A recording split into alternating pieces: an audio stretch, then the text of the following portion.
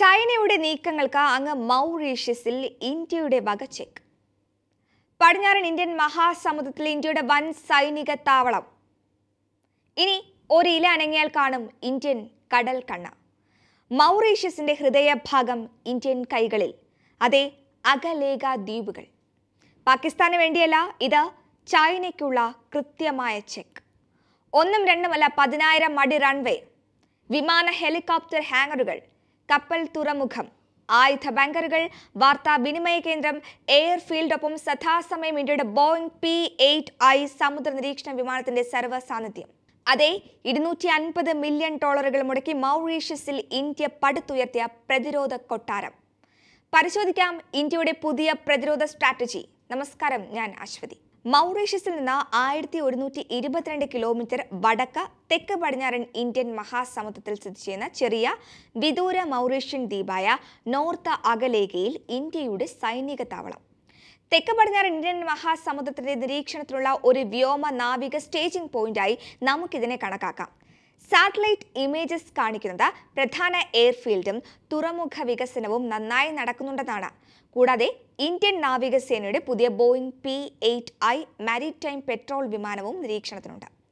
Boeing seven three seven passenger എയർക്രാഫ്റ്റിനെ അടിസ്ഥാനമാക്കിയുള്ള U S നിർമ്മിത P eight അന്തർവാഹിനി വിരുദ്ധ യുദ്ധം ഉപരിതല വിരുദ്ധ യുദ്ധം രഹസ്യാന്വേഷണം നിരീക്ഷണം രഹസ്യാന്വേഷണ ദൗത്യങ്ങൾ എന്നിവയ്ക്കായി ചുമതലപ്പെടുത്തിയ ഒരു അത്യാധുനിക സമുദ്ര പെട്രോളിംഗ് വിമാനമാണ്.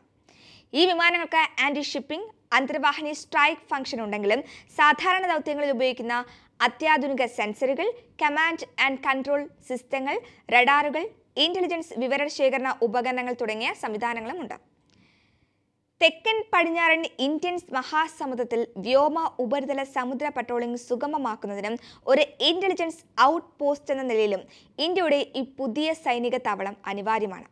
ഇതുവരെ ഈ വിവരങ്ങൾ അതീവ രഹസ്യമാക്കിയാണ് ഇന്ത്യയും മൗറീഷ്യസും സൂക്ഷിച്ചിരുന്നത്. നോർത്ത് അഗലേഗ ദ്വീപിന് ഏകദേശം പന്ത്രണ്ട് കിലോമീറ്റർ നീളവും ഒന്നര കിലോമീറ്റർ വീതിയുമുണ്ട്. ആകെ ജനസംഖ്യ മുന്നൂറിൽ താഴെയാണ് ഇന്ത്യ നിർമ്മിക്കുന്ന ജെട്ടിയും തുറമുഖ സൗകര്യങ്ങളും ഇവിടെ ഏറെ ശ്രദ്ധേയമാണ്. ദ്വീപിന്റെ വടക്കേയറ്റത്ത് ഒരു തുറമുഖം നിർമ്മിക്കപ്പെടുന്നു. രണ്ടായിരത്തി പതിനഞ്ചിൽ മൗറീഷ്യസുമായി ഒപ്പുവെച്ച കരാർ ഈ വിദൂര ദ്വീപിലെ നിവാസികളുടെ അവസ്ഥ മെച്ചപ്പെടുത്തുന്നതിന് വളരെയധികം സഹായിക്കുമെന്ന് ഇന്ത്യയുടെ വിദേശകാര്യ മന്ത്രാലയം പ്രസ്താവിച്ചു. അതേസമയം മൗറീഷ്യൻ പ്രതിരോധ സേനയുടെ പ്രവർത്തനങ്ങളും സാധ്യമാക്കുന്നു. സീഷെൽസിലും സമാനമായ ക്രമീകരണം ഇന്ത്യ പ്രതീക്ഷിച്ചിരുന്നു.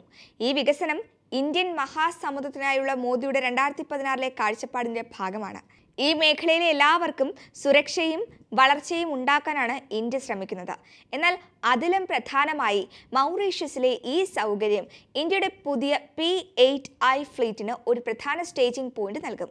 ഈ അതിശക്തമായ നിരീക്ഷണ വിമാനം പി ഐറ്റ് എ ഫ്രാൻസുമായി ചേർന്ന് സംയുക്ത പട്രോളിംഗ് നടത്തിയിരുന്നു. ഇതിന് പിന്നാലെയാണ് ജിബൂട്ടിയിൽ ഇന്ത്യയ്ക്ക് നാവിക സൗകര്യങ്ങൾ ലഭ്യമാക്കുന്ന കരാറിൽ ജപ്പാനുമായി ഇന്ത്യ ഒപ്പുവെച്ചത്. അകലേഖ മൊസാംബിക് ചാനലിന് മുകളിലൂടെ സമുദ്ര പെട്രോളിംഗ് സുഗമമാക്കും ഇപ്പോൾ വലിയ വാണിജ്യ കപ്പലുകൾക്ക് പ്രത്യേകിച്ച് എണ്ണ ടാങ്കറുകളുടെയൊക്കെ ജനപ്രിയ പാത കൂടിയാണിത്. ചൈനയുടെ ഊർജ ഇറക്കുമതിയുടെ വലിയൊരു ഭാഗം ഇപ്പോൾ വഹിക്കുന്ന ദക്ഷിണാഫ്രിക്കയ്ക്ക് ചുറ്റുമുള്ള കപ്പൽ റൂട്ടുകൾ നിരീക്ഷിക്കാനും നമ്മുടെ ഈ സ്റ്റേജിംഗ് പോയിന്റ് ഇന്ത്യൻ നാവികസേനയെ പ്രാപ്തമാക്കും. മാത്രമല്ല ആശയവിനിമയത്തിനും ഇലക്ട്രോണിക് ഇന്റലിജൻസ് സൗകര്യങ്ങൾക്കും ഈ ദ്വീപ് ഉപയോഗപ്രദമായ ഒരു സ്ഥലം തന്നെയാണ്. മൗറീഷ്യസുമായി ഇന്ത്യയ്ക്ക് വളരെ കാലമായി അടുത്ത സുരക്ഷാ ബന്ധമുണ്ട്. വംശീയ ബന്ധങ്ങളും നിരവധി മൗറീഷ്യസുകാരുമായി പങ്കിട്ട ഹിന്ദുമതവും ഈ ബന്ധം ശക്തിപ്പെടുത്തുന്നു. മൗറീഷ്യസിനെ തെക്ക് പടിഞ്ഞാറൻ ഇന്ത്യൻ മഹാസമുദ്രത്തിലെ ലിറ്റിൽ ഇന്ത്യ എന്നാണ് വിശേഷിപ്പിക്കുന്നത്. അകലേഖയിലെ ഈ അടുത്തറ തെക്കൻ പടിഞ്ഞാറൻ ഇന്ത്യൻ മഹാസമുദ്രത്തിൽ ഇന്ത്യയുടെ സാന്നിധ്യം ഉറപ്പിക്കുകയും ഈ മേഖലയിലെ പവർ പ്രൊജക്ഷൻ അഭിലാഷങ്ങളെ സുഗമമാക്കുകയും ചെയ്യും. അകലേഖയുടെ പുതിയ ഇമേജറി വരും മാസങ്ങളിൽ പരസ്യമായി പുറത്തിറങ്ങുന്നതിനാൽ ഈ സൗകര്യത്തിന്റെ പൂർണമായ അളവും കഴിവുകളും നമുക്ക് നന്നായി ഉടൻ തന്നെ മനസ്സിലാക്കാൻ കഴിയും.